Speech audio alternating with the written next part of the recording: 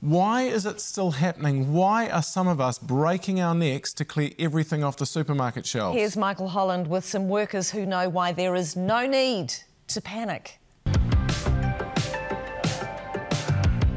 They're the great replenishers. The constants we rely on most often as we stare down lockdown. But no sign of panic here just determination to ward off panic buying out there in the supermarkets. We have enough food for New Zealand. You know? I saw yesterday a lot of people rushing.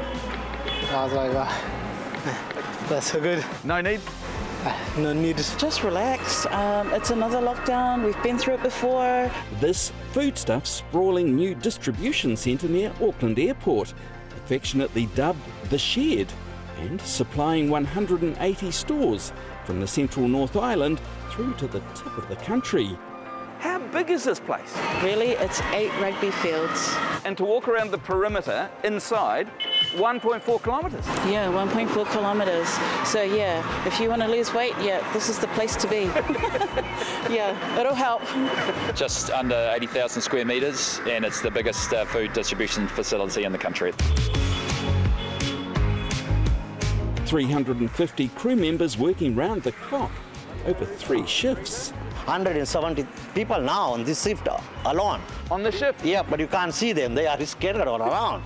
We've experienced probably about 100% lift in volume overnight, but the guys are dealing with it and working hard to, to get, get it through. I love what I'm doing, my job. Feel proud to be help our New Zealanders up there to come and work uh, with all our best, you know, with all our hearts. Just to be sure, there is enough toilet paper? I'm sure 100%, yeah, of course. Fear not, customers of Four Square Everglade Drive, South Auckland. Look what's rolling your way. Toilet paper is always going to be there. Unless you're eating a lot more, then that's a problem. then you'll need more toilet paper.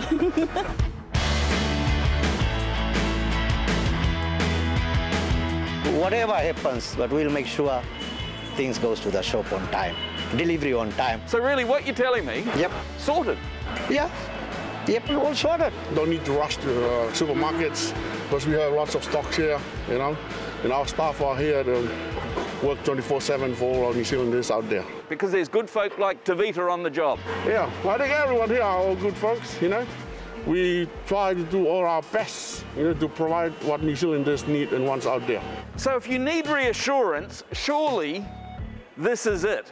Calm, orderly, and workers doing just what they do. If I could shake your hand, I would.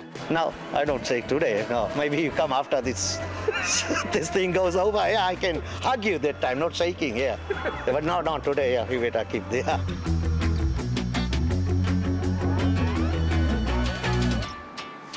Now, uh, Foodstuffs says broccoli and bananas were among the most sought after items when lockdown was announced.